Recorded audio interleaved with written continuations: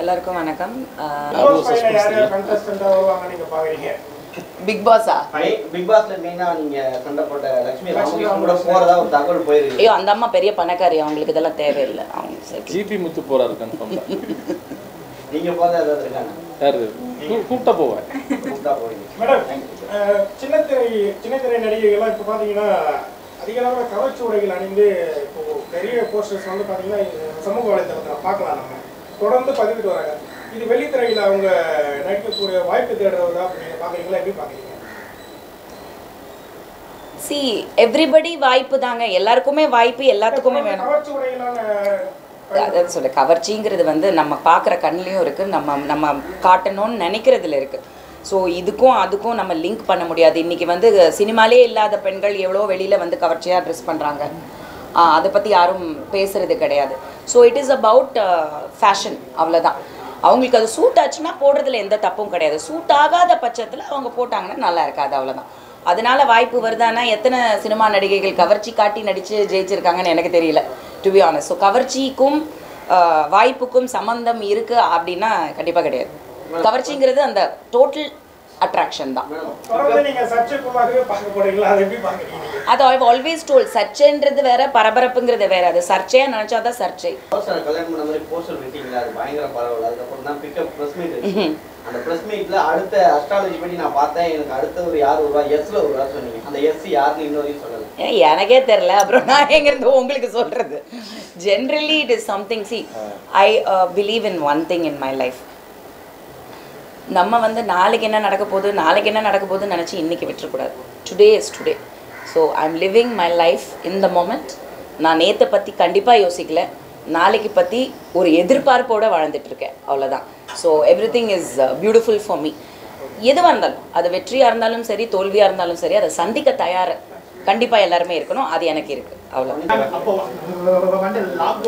அப்போ போயிட்டு இருக்கு மேடம் ஆர்டிஸ்டோட சம்பளங்களை ஃபுல்லாக கொஞ்சம் கம்மி பண்ண சொல்லி தேட்டர் ஓனர் ஃபுல்லாக கொஞ்சம் ரெக்வஸ்ட் பண்ணியிருக்காங்க இந்த படத்தில் நீங்கள் ஏதாவது சேலரி கொஞ்சம் கம்மி பண்ற ஐடியா இருக்கா? See it's it's like this it's see to be very honest வந்து ஒரு ப்ரொடியூசராக பேசுகிறேன் நான்.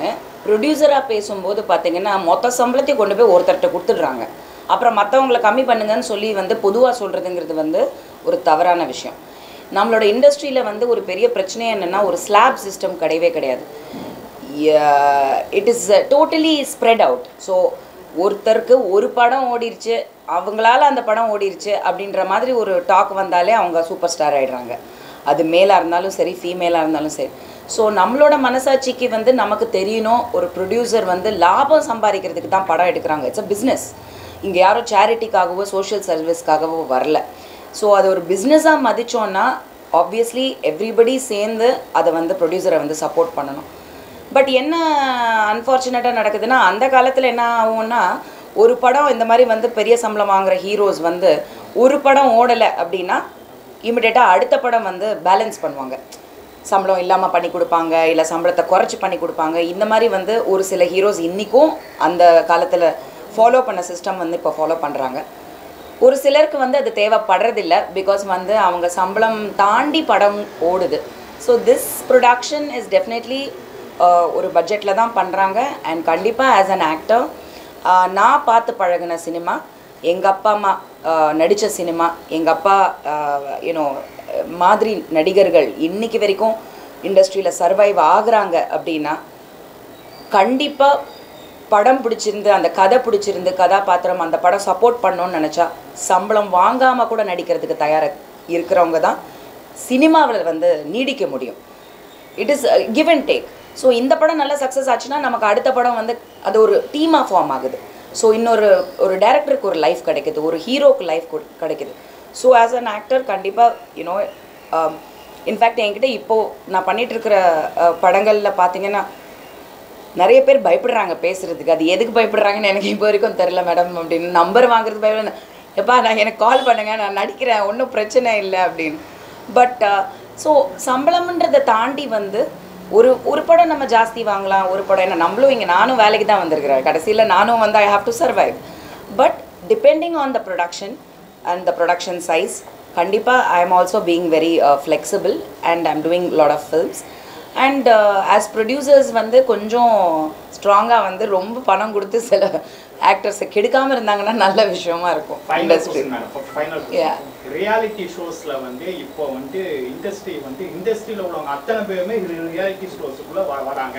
செம்ம பேமெண்டா வந்துட்டு ஸோ இது வந்து மக்களுக்கு ரியாலிட்டி ஷோ கரெக்ட் தானா? உங்களுடைய பாயிண்ட் ஆஃப் வியூல என்ன madam see everything is entertainment அவ்வளோதான் என்டர்டெயின்மெண்ட் அப்படிங்கிற ஒரு விஷயம் வந்து எதுலேருந்து வந்தால் என்ன? இப்போ for example theatre and OTT பற்றி பேசிகிட்டு இருக்கோம்.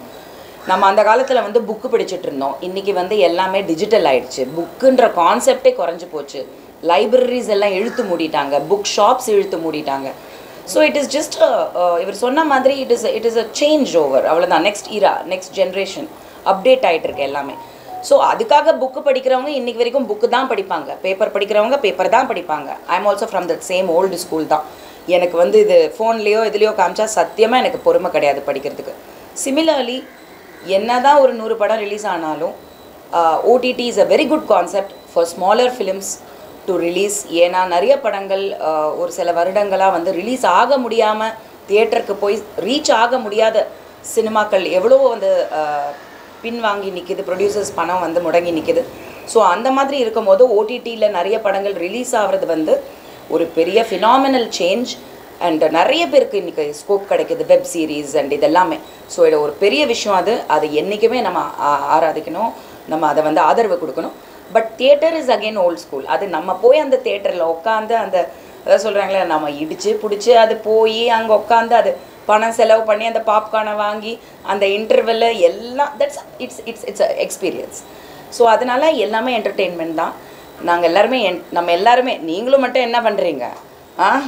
என்டர்டெயின்மெண்ட் தான் பண்ணிகிட்ருக்கீங்க இருக்கீங்க so it's a give and take so entertainment ரொம்ப முக்கியம் வாழ்க்கையில். பொழுதுபோக்கு ரொம்ப ரொம்ப முக்கியம். அது இல்லாமல் வாழ்க்கையே கிடையாது சுவாரஸ்யமாக கிடையாது. So let's all support it that's பெரிய வந்து தேட்டரே கிடைக்க மாட்டேங்குது. இந்த டைமில் நீங்கள் எடுக்கிற படம் வந்து தேட்டருக்காகவா இல்ல ஓடிடிக்காகவா? ஏங்க தேட்டரில் படமே இல்லைங்க. நாங்கெல்லாம் காத்துட்டு இருக்கோம் தேட்டருக்கு போகிறதுக்கு இல்ல, அதான். லிஸ்ட் கம்மியாக தான் இருக்குது இல்லை இப்போ தேட்டர் ஓப்பனுக்கு அப்புறம் நல்ல ரெஸ்பான்ஸ் தான் இருந்துச்சு. தேட்டரில் வந்து மக்கள் படம் பார்க்குறாங்க. தேட்டருக்காரங்களே சொல்லியிருக்காங்க. தேட்டர் வந்து திறந்தா லாபம் கிடைக்கல. அதனால தேட்டர்லாம் இடிச்சு மண்டபம் கட்ட போறோம் தேட்டர்ல இருந்து எல்லாம் வந்துச்சு ஸோ அதை நம்ம விட்டு கொடுக்க முடியாது. நம்ம எப்படியா இருந்தாலும் கல்யாணங்களே இப்போ ஓடிடியில் ஆன்லைனில் பண்ணிட்டு இருக்காங்க. மண்டபத்தில் என்ன பண்ணுறது எடுத்துட்டே இருக்கிறாங்க? தொடர்ந்து த்ரில்லர் மூவி எல்லாமே தெரியும் உங்களுக்கு. லைனா வந்துட்டே இருக்கு. அதுல உங்க படமும் எடுக்கிறீங்க. இதுல என்ன ஸ்பெஷலா இருக்கும்? எல்லா படத்தையும் தாண்டி. இல்லை எல்லா த்ரில்லர்ஸ்க்கும் வந்து கிரிப்பிங்காக வந்து சொல்லலாம். ஏன்னா ஒரு எல்லா ஜானர்ஸுமே எக்ஸ்ப்ளோர் பண்ணணும். எல்லா ஜானருக்குமே வந்து ஒரு ஒரு ஒரு படத்துக்கும் ஒரு வித்தியாசம் இருக்கணும். ஸோ அப்படி இருக்க போகிறப்போ இதில் ஸ்க்ரீன் ப்ளே எல்லா ஒரு த்ரில்லர்னு சொல்ல போகிறப்போ ஒரு ஸ்க்ரீன் ப்ளே இருக்கணும். இல்லை ஒரு ஒரு நாட் வந்து முக்கியமாக இருக்கணும். ஸோ அது வந்து இந்த படத்தில் ஸ்ட்ராங்காக இருக்குன்னு பிலீவ் பண்ணி தான் பண்ணியிருக்கோம். அதே மாதிரி ஒரு ரியாலிட்டி ஒரு கலந்த ஒரு இல்யூஷனுக்கும் நடுவில் நடக்கிற ஒரு பேட்டர்ன் தான் படமே. ஸோ அப்படி இருக்க போகிறப்போ right from starting to end வந்து இந்த படம் வந்து ஹோல்ட் பண்ணும் அப்படின்றது தான் விஷயம். ஏன்னா சஸ்பென்ஸ் த்ரில்லர் ஒரு படத்தை பார்க்கணுன்னா அந்த ஒன்றரை மணி நேரம் ஹோல்ட் பண்ணும் ஆடியன்ஸை ஸோ அதை பண்ணியிருக்கோம் அப்படின்றது தான் அதில் இருக்கிற